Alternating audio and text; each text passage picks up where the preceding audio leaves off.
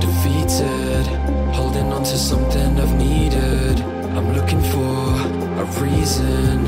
Finding out you're wanting, a demon. Helpless, defeated.